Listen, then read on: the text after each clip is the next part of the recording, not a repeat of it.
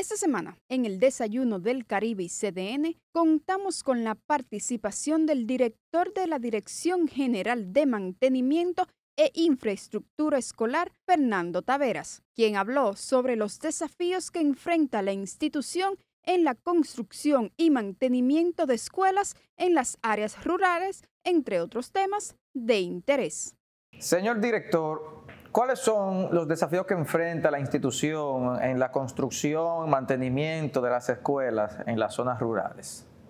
En zonas rurales, mira, nosotros tenemos en Padre Las Casas principalmente, esas zonas así montañosas, que llaman de montaña. Nosotros tenemos un, diseño amigable, que no que fue usted que, no, usted fue que habló de eso, usted, eh, con ese tipo de planteles escolares, que son planteles escolares pequeños, de comunidades pequeñas, evidentemente, y hacemos ese tipo de, edificaciones amigables, con madera, hay muchas de ellas que no podemos, no es viable casi ni siquiera ponerle eh, losa de hormigón, sino aligerado lo hacemos. Y, sabemos que culturalmente las escuelas son un refugio. hacemos el esfuerzo porque sean eh, de bloque o, o, con techo de hormigón por la naturaleza de los huracanes y sirve ese doble propósito de refugio pero casi es inhóspito. Y la calidad de tú llevar y hacer eso eh, con,